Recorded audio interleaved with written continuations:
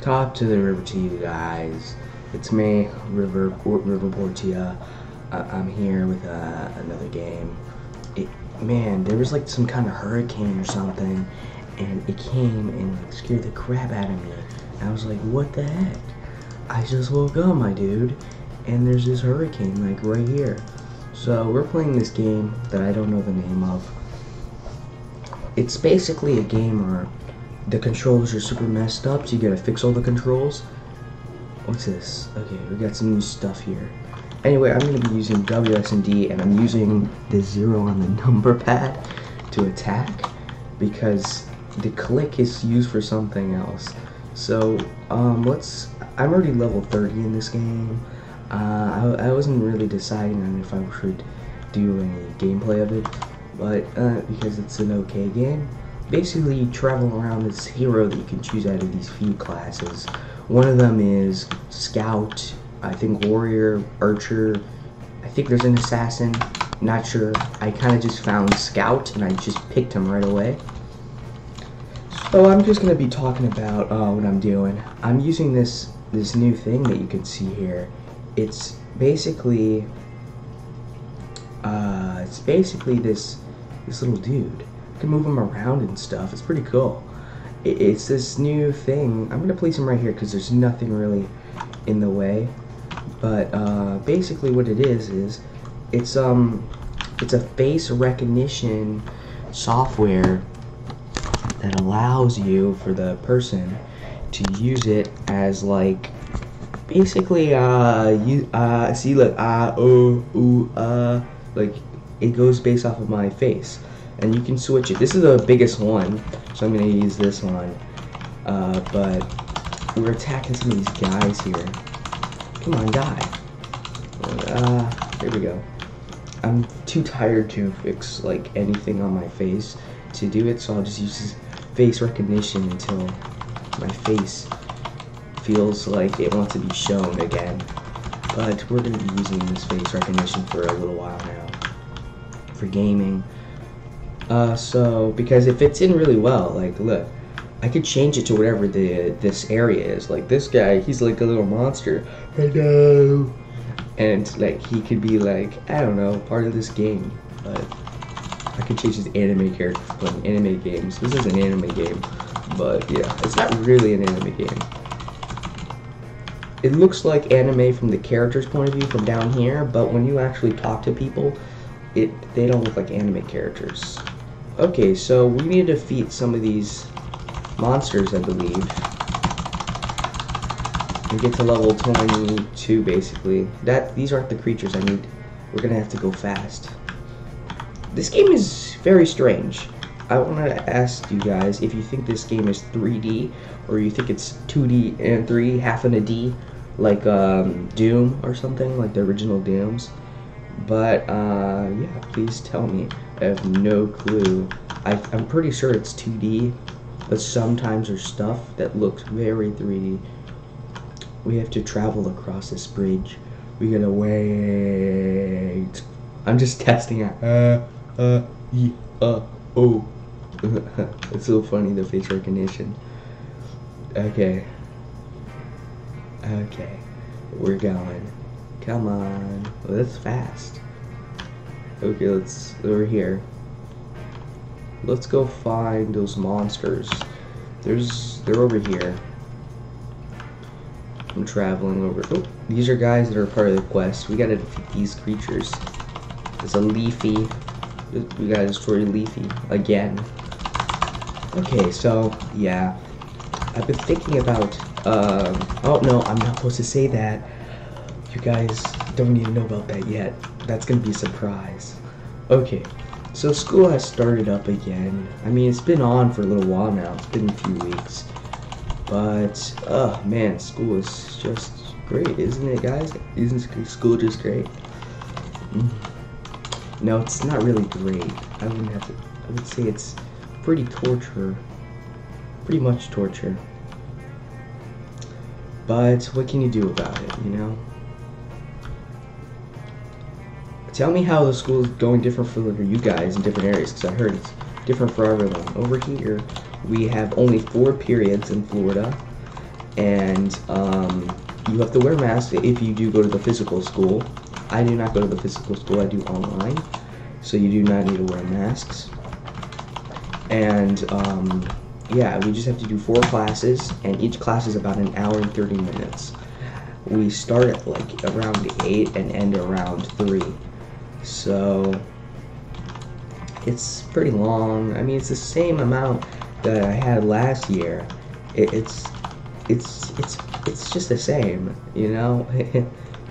I mean, same time wise, not same like amount of classes. I usually would have a lot more classes, and lunch period is extremely long mm, because I also have this teacher that only does the the webcam thing at a certain time. Like she only does it on Fridays.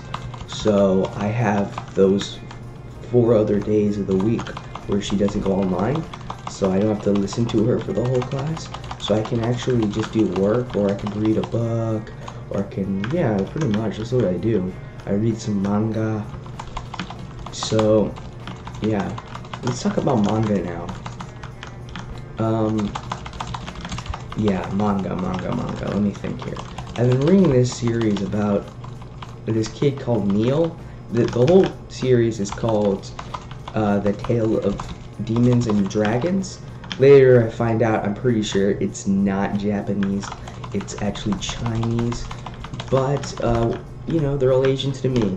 Now, uh, one of the things is that it's about this main character called Neil. It takes place in like this fantasy world I suggest it if you are a hardcore like reader and want to know a long story and love long stories, and you don't really, you know, um, want it to end. I mean, I'm at the point where I'm like, okay, uh, just get to the part, bro. But um, I've gotten pretty far. I'm on like episode 205 or 4, somewhere in the 200s and the single digits. And yeah. Basically, it takes place in this fantasy world where there's these people that are, um, they're like called demon spiritualists. Or, I'm not 100% sure. Basically, what they are is they're like these well-trained warriors that train for warrior things and then they get demon spirits and kind of inject them somehow. I don't know. They never show it in the book, or I must have fell asleep. But at the part where they did, but they put these little balls and kind of connect it to them in some way. I'm not sure, but they, they connect it somehow. And then they can kind of transform into that demon spirit that they have. So this guy named Neil, he um, he he he like there's this city that there was like this dark age where all the humans were like dying because of these monster demons that I think are the ones that you can put into the crystals that they can combine and use for themselves. Anyway, they're like really evil creatures, and they're like trying to destroy humanity basically. And in the process of this like hundred or some a long time year war, the humans kind of like lost all their cities, and there's only like a few cities, but there's only one really main city. It's called Glory City. Basically, in in the future, uh, this kid Neil, he he's like he wasn't very strong. He's like a real wimpy dude. Um, when it comes to like there's whenever you when you become a demon spiritualist, you have to have like two things. You have to have these points of like strength, and you have to have these points of like willpower or some kind of like cultivation power thing. It's it's kind of like mana, but they don't call it mana. Basically, if you want to be the lowest ranked spiritualist, you need to have at least 100 points of this mana and 100 points of like power of strength. And if you have that, then you're considered to be a bronze 5, which is like the lowest rank, and they're like weak, wimpy dudes. Now, um, the demon spiritualists, they kind of, they're like, he was a wimpy. Like, he was a level 5, willpower and like a level six or five strength physical power. And what happened was like the city was getting was getting attacked by like a huge horde, like up to like a like over like a billion guy monsters, and they destroyed the city. And the Glory City, and now that he, uh, he becomes like he, basically there's there's no hope. Everybody kind of dies, and he kind of gets he's a refugee and he's a survivor, and he falls in love with some girl, but she dies because of a monster because he's too weak to protect her, and basically he becomes really powerful somehow because he becomes a nomad and finds treasures and stuff and does his cultivation to make him stronger.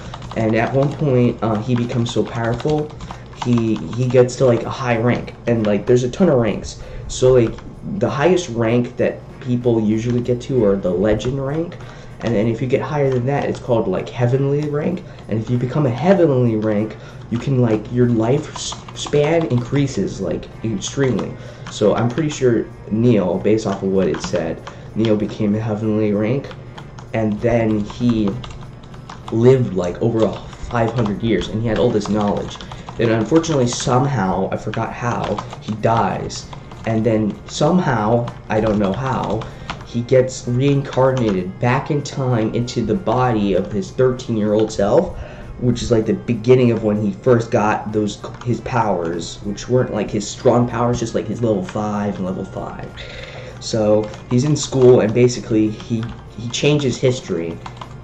He's it's basically like naruto but if Naruto was had was the whole movie Naruto, the whole thing, except Naruto dies at the end, and they get re- reincarnated with all of his all of his memories of of his future kind of reincarnated future life that isn't a life that didn't happen, but he remembers everything, and then went back in time into his 13 year old body, and now he knows how to do ninjutsu of every single kind in the whole world. It's basically like that it's like a zero to hero kind of plot, but except it's hero or it was zero to hero reincarnated hero to hero.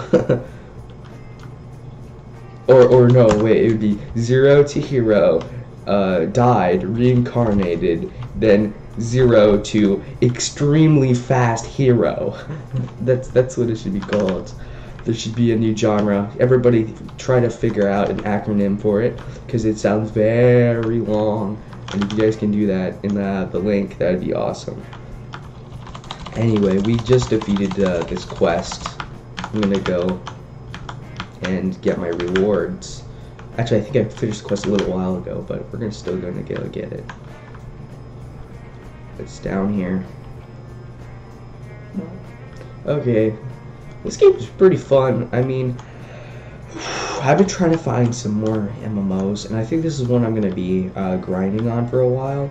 If you guys remember, I had that Conqueror's Blade. I did not make a lot of videos of that because Conqueror's Blade is actually pretty boring for anybody that's trying to do uh, let's play of it because there isn't any story at all in the whole thing. It's just about leveling up and beating the crap out of other people. And I'm not good at uh, beating the crap out of people. So it's just me struggling to level up. So because I was a pole class, pole class, pole axe. A pole axe is not a very good weapon to attack people with. It's only uh, or players with. It's only good to attack the, um, the, the the smaller troops that the guys had, like their little armies, because he can destroy them so very easily. So yeah, but ever since uh, I became level 101 in Conqueror's Blade, there isn't anything I can do. It's just boring. So I wanted to find a new MMO. I was looking for a lot of stuff. So I first wanted to start off by having like an MMO that wasn't really based off of fighting. It was more based off of like oh you have a job okay you get a you get a family you have your your son maybe and like I don't know, you have a nice house. And I couldn't find anything like that that was newer.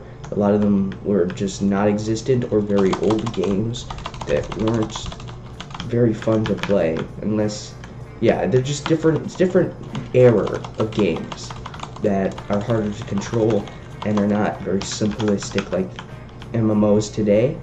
Now, um, then I, I that was fruitless, so I went and I looked for different MMOs. There's another genre I wanted to do a very much so, and it was a genre where it would be a player-based economy. Now, there's a lot of games that already have player-based economies. Not the way I want it though. I want it so that there's no like real amount of merchants.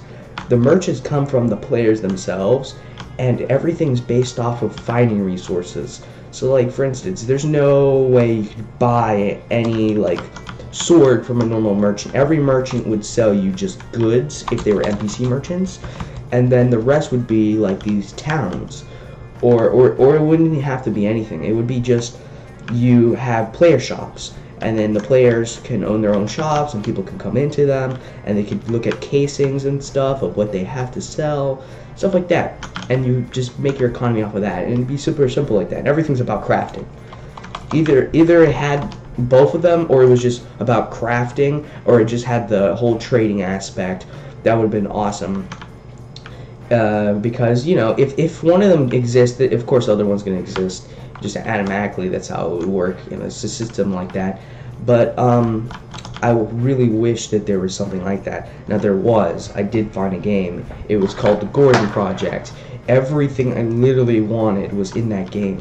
However the game is extremely expensive and I do not have the dough at the time. I have it on my wish list on Steam and I'm going to buy it in the future.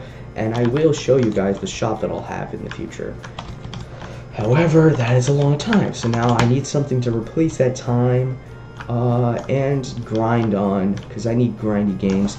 So I was watching, so, oh wait, wait, wait, wait. I think I had another genre that I was going to do, so, uh, let me think. Let me grind some more monsters, they'll, they'll get my head spinning. So there's another thing I wanted to do. I wanted to have an MMO where you can own your own houses in, or you can own like, you know, a guild house to like, you know, have for your friends and stuff. So I did find one of them. I actually got a friend to play it with me for a little while. Uh, it was a game made by Glyph. I think it was called Rune something. No, I'm not. I'm not 100% sure. I can't tell you guys what it was named because it was a while back. I've been searching for an MMO that was like fun like Conqueror's Blade for me in a grindy way, but also had new aspects to like play in. So anyway, the game was made by the same people that made Trove, the Glyph company. Uh, I in I actually before that I did play Trove for a while, and I remember that game was somewhat of what I wanted. However, a long time ago when I was playing Trove, they had this thing where you could make your own basically you can make your own place. You can make like this huge world if you get enough resources. I grinded for a very long time, like either uh, amount uh, to a half of a year, and I became the highest level, like like very high, at least the highest level, or either like very very high level necromancer. And I think it was necromancer. Yeah, necromancer. He spot summons the skeletons, and um and I got all the resources to do it. Once I created the world and I edited it, it was like a giant Minecraft map that I could do what the hell I want with it, but it was in Trove. And I could even have people to come in there like a guild. But however, I found out that you every five days, if you don't do like a certain amount of quests, or it was five days, or they might expand it now, you had to do stuff. Otherwise, they can take the world away from you. And I was like, what the hell? I literally took like a few like, like half a year to do this, half a year of my life, just to find out that the world that I've been waiting to build in and build a city in, build literally anything I wanted in a trove map. Like the hugest castle and the beautifulest, like anything. I need to like conserve it by playing the game more. I can't just like, oh, okay, I'm gonna take a break, and I can come back in a few weeks. No, it'll be gone in a few weeks. So I was very mad that Glyph did that. Very, very mad. It was stupid idea to do something like that. It should have been, okay, it's your world, you can do what the hell you want with it. You literally spent this many resources on it. I mean, it was so expensive. It's one of, like, the fifth most expensive thing you can do in the game. So, like, that happened. But, well, I, I wasn't trusting Glyph for a while. And I didn't know that the game that I was playing with my friend was Glyph until a little bit later. And then when I logged in, what happened was it said, oh, you played Trove for a very long time. Here, we're going to reward you with a world in this new game. Well, it wasn't new, but they rewarded me with a world, and it, it was exactly what I thought it was going to be. They gave me special items. They gave me a special cape that had a Trove symbol on it, and they even gave me a world. Now I wanted to build my own world from like I don't know something that would have been like look like the actual game. It was just a Trove world. It looked exactly like Trove, but you couldn't do anything in it. You could you could put like furniture down and like walls. That was it. You couldn't like have a chest or anything in that world. You couldn't have like magical like crafting tables to craft stuff that you could build. So the crafting aspect that I was looking forward to wasn't there very much. And then the um, and then the world itself was not like a place that was inside of the world. It was just like the Trove, where it was this area that you had to teleport to, and it was in this like special little area that's only for it. You can't like travel there on horse. Very dumb. Okay, so then I went to another game, ArcheAge, which I also think was made by Glyph. I don't know why I did this one as well. So, I think it was made by Glyph, or another company. I'm 100%, nah, I'm, I'm about 80% sure it was made by Glyph. Because I can't remember, this is a while back. Anyway, Glyph, uh, Arch, ArcheAge. Uh, it's a game, fantasy game, very promising. It has uh, the crafting aspect that I was looking for. However, there's and it was a good game and everything I, I would have wanted. I might even get back into it because it was so good.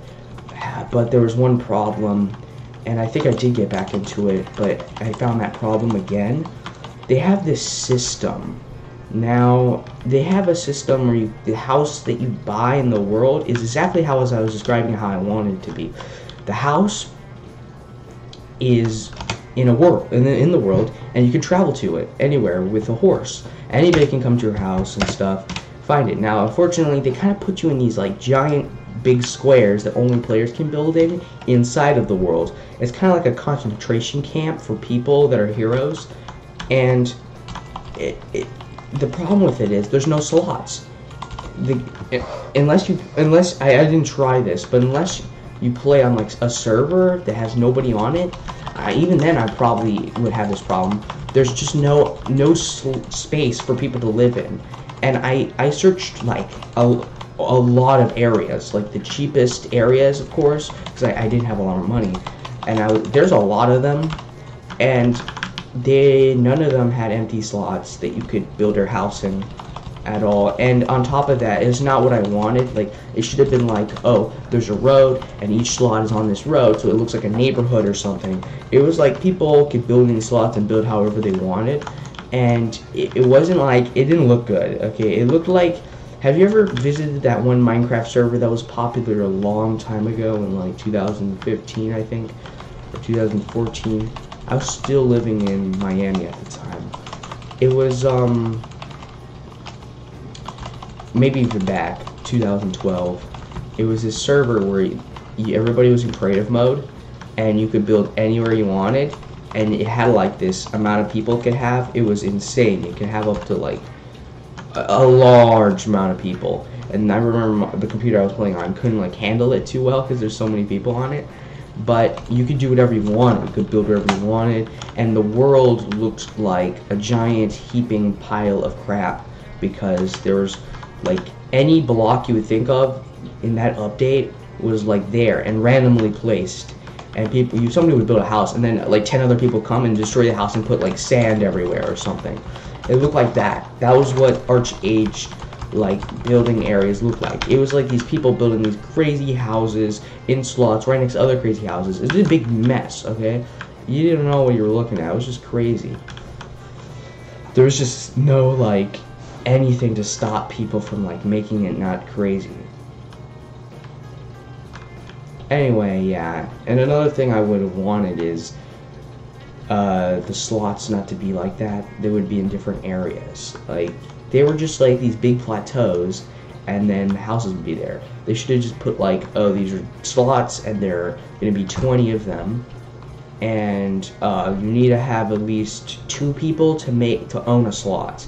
That should have been it. Like they had a policy like you need two people to own a house, and that's that's the condition.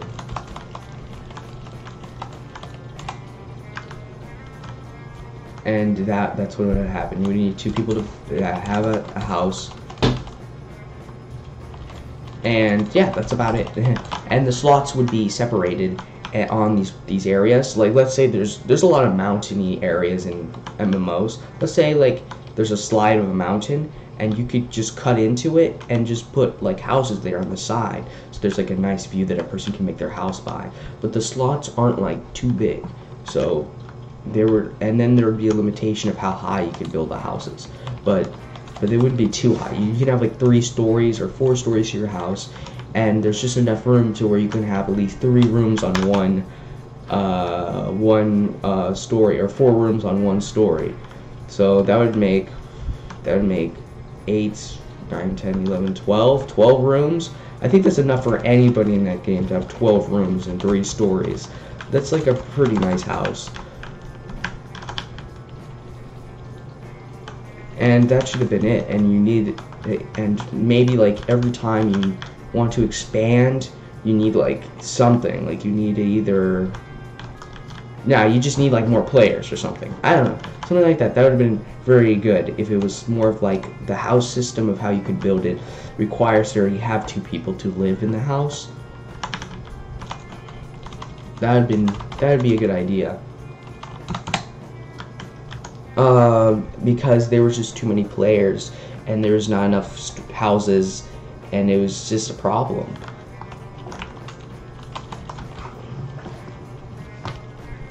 and also the way they set it up was horrible. There was a lot of open world areas that they could have just made houses on the road, like in those locations.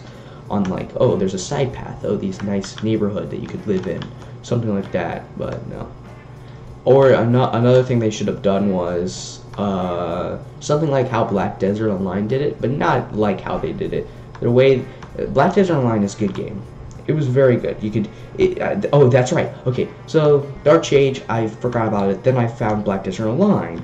I actually bought it and then played it, and I played it all the way till I was pretty much a level that I couldn't surpass. It was like level 56 or something. No, level 50. No, no, 60. Level 60. And I did it twice. I did I did two characters to level 60. And then there's this city that was in the mountains that I found, and I bought all the property with both accounts because I was so damn rich. And I leveled them all up to max, and I even, mm, I think I was gonna about to make the guild house, but oh, I did make the guild house, but I didn't make the guild house. I made the guild, not the guild house, and I did that, and that was great. But um, problem was uh, you can get high level. There was the crafting was not there was crafting, but it wasn't good at all. And they had all these weird level point systems that I was trying to do to become a trader and buy a boat.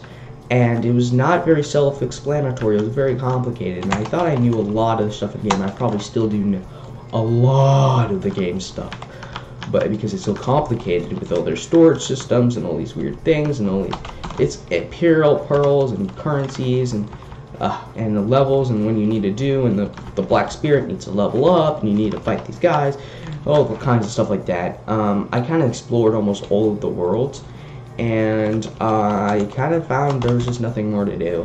They, there was no extra systems that were interesting. It was all about more point systems, which they could have removed and made it more simpler, and could have added different systems that were more player friendly to what people want to do. So I kind of ended there. That the game got I completed basically the game.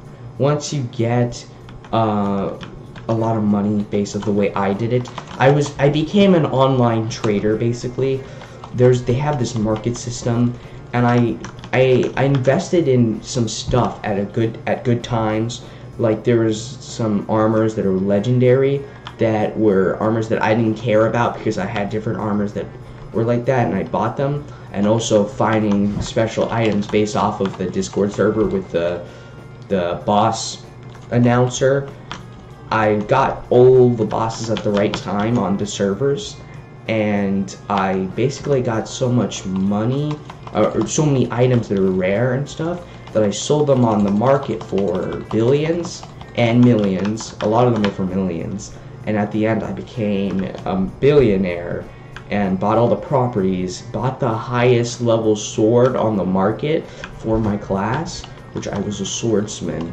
And I had a, a giant great sword. I had these extremely legendary swords and shield, and uh, yeah, I just it was like the highest level stuff. You can't go any higher than that. I mean, like once you become a certain level in the game, there's just not anything you can do. The only thing I saw that you could have done was you could craft the armors, but the crafting system requires workers and you have to have the right house, and some houses can't level up to that certain degree. So to get that was also kind of impossible. They did very well on how players could, you know, have a monopoly over city lands and there was enough land for all the players. I love that a lot about the game. However, at the point of where I just became very rich and there was nothing to do. And I became rich on two characters. I had um I think it was a mage, not a mage. It was uh it was sort of like a mage. It's a mage without the hat and kind of dressed up pretty sexy, but um she was my character for level 56 and then I had a swordsman that was a giant. He was the size of a giant and he was level 60 and I played both of them for my guild. I even had a friend come on to play with us uh, yeah, and we basically became overpowered. That's about it. There's not really much to talk about when it comes to Black Desert Online. When it, when it, but yeah. So then I, yeah, I found another game. I think I was looking for more games. Yeah, I'm trying to think what I was looking for next because Black Desert Online was like one of the latest ones, and I had another one between it. So I was trying to think what I was gonna do. Oh yeah, I took a break from MMOs, and I started playing some Settlers because I got bored and I couldn't find anything. Maybe a few weeks or something would give me time to find it. And then I found. Oh, that's right. I remember. I got took a break, and then I started watching anime. And then one of the animes, I watched two animes. I watched this one about a girl. I, am not gonna say the name. I'm just gonna describe the animes. They're they're both very similar. One oh no, I, I remember the names. Okay, the first I was okay okay. The first one was uh, there really are girls online. Basically, there's this guy, and he's a gamer.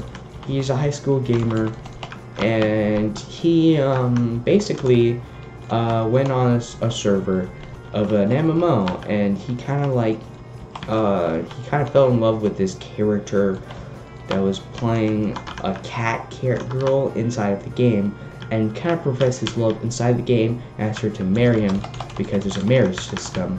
But uh, then uh, the cat girl told him that he's a 40 year old man playing this game, and he was like, "Oh, oh man, well, anyway, continuing on, he gets like a guild and he has this person, and then he kind of figures out, I don't care what their gender is, I'm just not going to ask what they are, and I'm just, their character is the one I love, and he kind of fell in love with this other character, and uh, from there, that somehow they get to meet in real life, and he finds out that all the characters that he thought were like dudes were actually girls, and the one that he married was also this really pretty girl inside the game and in real life, but she doesn't know what reality and non-reality is. So she thinks he's she's really married to him, which is like pretty bizarre.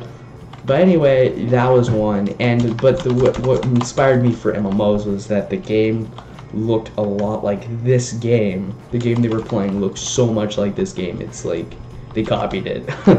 and then there's another one that also looked extremely like this game that also got me to play this game or look for games that looked like it was another one where this girl she, she's basically this 30 year old lady and she quits her job because she's extremely stressed. She's uh, a, a NEET and lives in an apartment and what happens is once she quits her job she's like you know what? I'm just gonna play some games to relieve my stress. So she goes buys out some new monitors and stuff and she downloads an mmo and plays it and also falls in love with a character and later meets them at the end of the series, or not the end, or halfway into the series, or she knows the person but doesn't know that character is the person, and then later finds out towards the last episode that that's that person. And then uh, yeah, we already know where it's gonna go, but they kind of leave it at a point where they ended at 10, 10 episodes. They should have had two more episodes for that guy to convince his love, and then uh, there we go, uh, happy happy ever after. But kind of just left it as, oh, let's be friends. The end. but but what really made me inspired was how the game looked. And then I looked for games that looked like that, and I didn't find any. So then I played more Settlers, and then I found some, and then I'm playing them right now. So that's how I'm here playing this game. Great, right? What a story. What a story that is like can be expressed in two words or ten words, which I'm probably not gonna make it ten words. It's uh, finished game, depression, try to find new game, found new game, found new game, uh, not good, not good, and found uh, anime, out, found good game, now playing. it's probably like 15 or 20 words, but yeah. Anyway, yeah. I'm gonna let you guys go now. I don't really have much. Oh, I leveled up to level 32. Yeah, boy.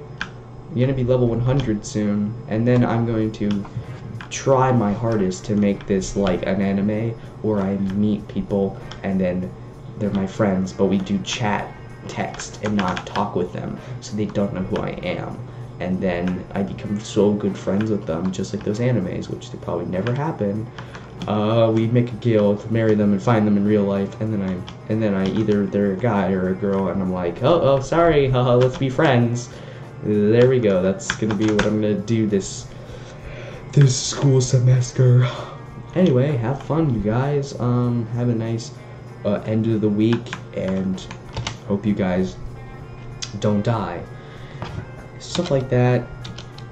And yeah, well, trying to level up to level 100 here. Uh, see you guys later. Bye.